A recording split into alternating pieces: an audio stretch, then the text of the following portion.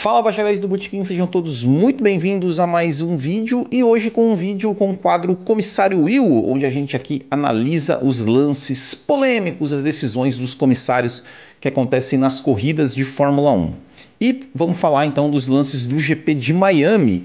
Para começar, vamos falar do, do, lance que aconteceu na largada da corrida sprint envolvendo Lewis Hamilton, Fernando Alonso, Lance Stroll e Lando Norris. Então, vamos ver as imagens aqui e depois a gente conversa.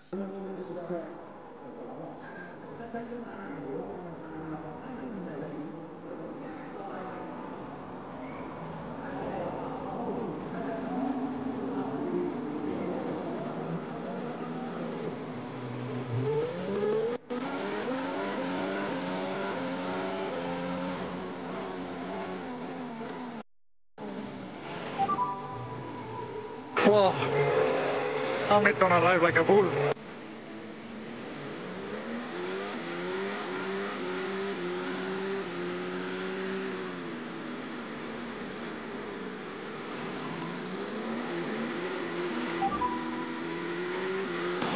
There's a gap on the inside, so in for it.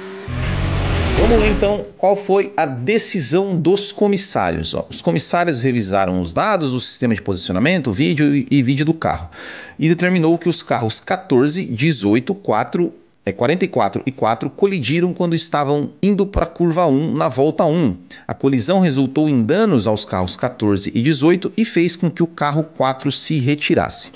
A partir das evidências de vídeo, parece que houve pelo menos três colisões que ocorreram. O primeiro entre os carros 14 e 18, né, o Alonso e o Stroll, e depois entre os carros 44 e 14, o Hamilton e o Alonso, e finalmente entre o carro 18 e o 4, né, o Stroll e o Lando Norris.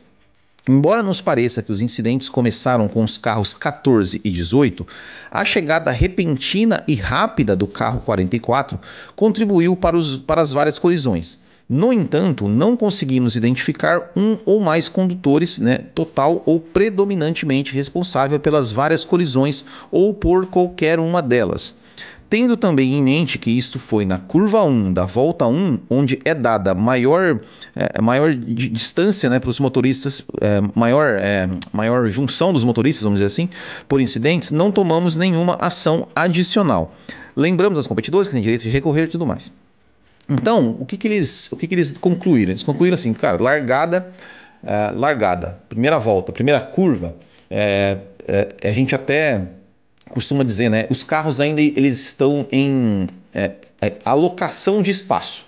Né? Então, assim, não tem nenhum carro que é dono de nenhum espaço, que não, não conquistou nenhum espaço numa primeira curva de uma largada, e aí então é considerado um, um, um, incidente de corrida. Eu concordo com a decisão dos comissários, eu concordo com a decisão dos comissários, porque o que acontece?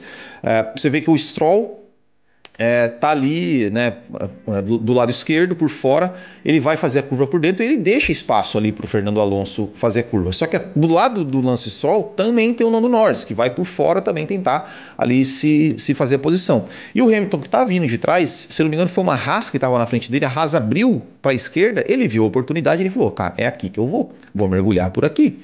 É, e mergulhou tal, e aí nisso o Stroll já estava ali fechando né, o Alonso, o Alonso também ficou sem espaço, acabou batendo né, o, o Hamilton com o Alonso, depois o Alonso com o Stroll e, o, e, e acabou sobrando para o Lando Norris. Eu, para mim também, é, um lance absolutamente de corrida, assim, não teve, eu também não puniria ninguém.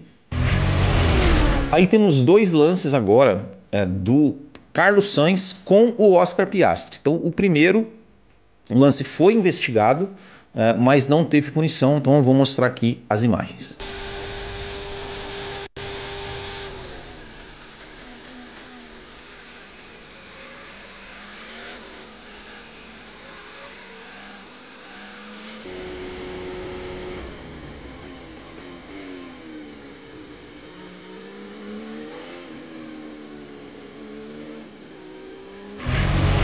Nesse lance, o lance foi investigado, foi para investigação uh, e não houve punição. E também não houve uma justificativa do porquê não houve punição. Eu entrei no site da FIA, lá tem lá o, uh, o né, os, os, documentos dizendo né, que, que, que, foi entrar em investigação, mas não tem o resultado, né, o porquê, o motivo que levou a não ter punição. O que eu acho nesse lance? Eu acho que sim, o Oscar Piastri ele, ele, uh, ele se defendeu, espalhou o Carlos Sainz, que fez com que o Carlos Sainz fosse para fora da pista. Uh, não houve e não houve punição. Ok, eu até concordo, realmente, ah, cara, não precisa punir. O Carlos Sainz foi para fora da pista, é, era, era, era uma, ali ainda no asfalto, o carro não foi, né, não, não foi danificado, não perdeu tempo, não tudo mais. Cara, deixa a corrida seguir. Deixa a corrida seguir, eu concordo com isso. Eu acho que beleza, tá tudo certo. Deixa os caras correrem, deixa que eles, deixa que eles se resolvem. Embora, se tivessem de repente punido o, o, o, Oscar Piastri é, por não ter deixado o Carlos Sainz com espaço de pista, eu não, não, eu não, não acharia é, não acharia ruim, não acharia que, tá, que estaria errado, mas concordo plenamente que não teve punição. Deixa os caras correrem. Talvez uma bandeira de advertência ali para o Oscar Piastri, ó, próxima vez deixa espaço, hein? Beleza? Tudo certo? Deixa os caras se resolver. Então esse foi o primeiro lance. Vamos agora para o segundo lance, de novo envolvendo Oscar Piastri e, uh, e Carlos Sainz. Vamos ver o vídeo.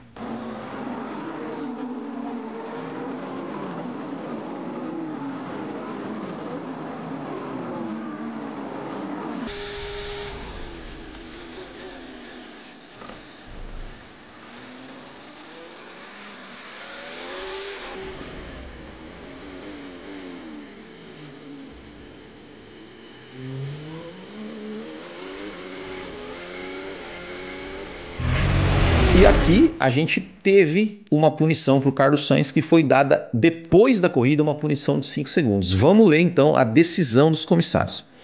Os comissários ouviram os pilotos do carro 81, carro do, do 55, representantes da equipe, evidências de vídeo, determinaram que o carro 55 estava ultrapassando o carro 81 na curva 17, quando perdeu ligeiramente a, ligeiramente a traseira e colidiu com o carro 81.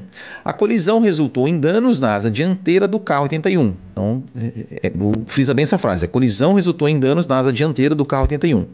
Ficou claro para nós que o carro 55 era o culpado pela colisão, na tentativa de ultrapassagem. O carro 55 freou tarde, errou o ápice e no processo perdeu a traseira, com colisão resultante. Embora o carro 81 estivesse tentando é, virar para conter a ultrapassagem, a, a, o carro 81 deu espaço suficiente ao carro 55. Nessas circunstâncias, consideramos o carro 55 o principal culpado pela colisão. Nesse caso, tivemos em conta como fatores atenuantes o fato de, exceto pela ligeira perda de controle no, é, traseira do carro 55, a colisão provavelmente não teria acontecido e teria sido é, uma ultrapassagem difícil, uma corrida difícil, mas boa. A penalidade padrão para uma colisão é 10 segundos com dois pontos de penalidade. À luz das circunstâncias atenuantes, consideramos, portanto, impor uma penalidade de 5 segundos com um ponto de penalidade. É, lembrando, os competidores têm direito de recorrer a certas decisões tudo mais. Aí é, é, é, assim, eles mesmos, na, na, decisão, disseram que teve uma colisão, que o Carlos Sainz escapou de traseira, bateu no, no Oscar Piastri é, e era para punição. Puta, mas não era para uma punição assim tão forte. Então, em vez de dar 10, vamos dar 5. Pô, se não era uma punição tão forte, cara, não dá punição, cara. Não dá punição. Tá claro, tava claro que deu uma escorregada ali. O Carlos Sainz perdeu a traseira, deu uma escorregada e bateu no pneu que depois bateu. Bateu primeiro no pneu do Piastri, depois bateu na asa. E estava claro pelas circunstâncias da pista que, que a, a, era uma pista que estava com difícil aderência, a aderência estava difícil, todo mundo sabia, era notório isso, todo mundo sabia disso. E o cara deu uma escapadinha de traseira tentando ultrapassar e deu um toquezinho no pneu que depois bateu na asa e quebrou a asa. Então você está punindo pela consequência. E se não quebra asa, não ia ter punição? Porra, bicho, é, deixa os caras correrem, velho. Deixa os caras correrem. Sabe? Foi, quebrou a asa, cara. Mas se não tivesse quebrado, não ia ter dado punição? E aí fala o seguinte: ah, porque o, o Oscar Piastri deixou espaço pro Carlos Sainz. Mas naquele outro lance ele não deixou espaço e, e, e não aconteceu nada? Então seja pelo menos coerente. Ou punem tudo, ou não punam nada. Agora, ah, isso aqui a gente não vai punir porque, ah, beleza, o Carlos Sainz saiu da pista. Então, se, tivesse, se o Carlos Sainz tivesse saído da, da, da, da pista lá, rampada a zebra, quebrado a asa do Sainz, o Piastri ia ser punido? É, é umas coisas que, que, que, sinceramente, cara, eu, eu, eu, eu, eu acho tão absurdo esse tipo de julgamento. É, eu, eu, eu falo, cara, eu falo, para mim, assim, o comissário devia ficar numa salinha e assim, e não devia saber a consequência. Deu toque, para a imagem ali. Você não vai saber que quebrou a asa do Piastre. E aí você vai analisar o ato e não a consequência. Porque só porque quebrou a asa do Piastre. Se não tivesse quebrado, não teria sido punido. Então, cara, e, e se vocês mesmo aqui no artigo colocaram as, as, as, circunstâncias atenuantes de que o cara escapou de traseira, de que não foi uma manobra, é, é, é, digamos assim, deliberada, de que não foi. É, e vocês mesmo colocaram isso, e mesmo assim puniram. Pô, não pune. Fala, ó, a gente viu que o cara escapou traseira tal, e, e, e foi, deu. Segue a corrida. Enfim, é, é esse, essa é a minha opinião aqui sobre, sobre esses lances. Discordo totalmente dessa punição do Carlos Sainz. Achei absolutamente absolutamente injustificada, eu, eu achei. É, quero saber a opinião de vocês também né, sobre, sobre todos esses lances que vocês acham que deveria ou não deveria ter punido, vocês concordam ou discordam comigo, coloca aqui, obviamente, os seus, os seus argumentos, tá? Não tem, é, eu sempre falo, não tem certo e errado, né? Cada um são pontos de vista diferentes. É, teve também né, os lances do Kevin Magnussen lá com o Hamilton uh, na corrida sprint, mas eu já falei sobre isso na live de segunda-feira. Já falei, né, já dei minha opinião sobre os lances, já dei minha opinião, então eu não vou aqui ser repetitivo. Então, se você não viu, vai lá na live de segunda-feira, na parte final ali, eu falo sobre a questão do Magnussen com o Lewis Hamilton. Certo, então, pessoal? Muito obrigado, grande abraço a todos. Ah, não esqueça aqui de deixar o like, se inscrever no canal, aquela coisa toda, deixar seu comentário. É isso aí, muito obrigado, grande abraço a todos, até o próximo e tchau.